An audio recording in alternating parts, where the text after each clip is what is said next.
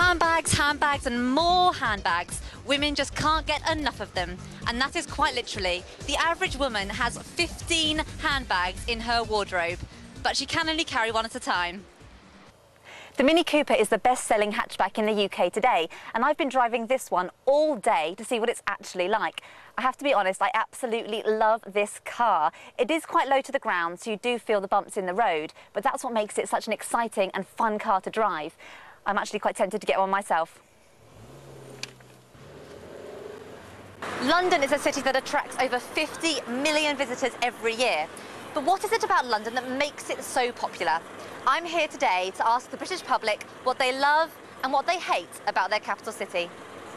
What do you think attracts people to the area? What is it? Why is it such an amazing tourist attraction? Um, lots to do, lots to see. Um, Amazing architecture, it's yes, fantastic. Architect- Now, is there anything that you don't like about London? What would you change? The what? Pigeons. The pigeons? Yeah, I don't like pigeons. What, you just, just don't like pigeons? No. So tell me, as a visitor, what do you love about London? What, what really attracts you here? Well, I like the street life, which is very civilized and um, calm compared with many of It's the larger calm, is it? we came for the theater, so we've seen three plays. okay. Spacious property in a place like Henley on Thames can come with a pretty hefty price tag, but there are opportunities if you know where to look. Converting an old pub can take a lot of hard work and initial investment, and that puts quite a few people off.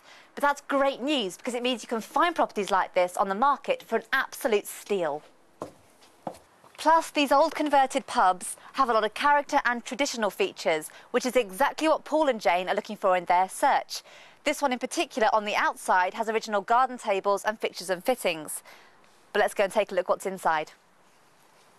The River Thames is home to an abundance of wildlife, but in the last six months, they've actually discovered seahorses living here. Now, scientists believe this is a fantastic sign that the River Thames is becoming cleaner and less polluted, but conservationists see this as yet another sign of global warming. Brian Naylor investigates. That's it for today's show, but do join me next week because I'll be scuba diving in Australia on the Great Barrier Reef. See you then.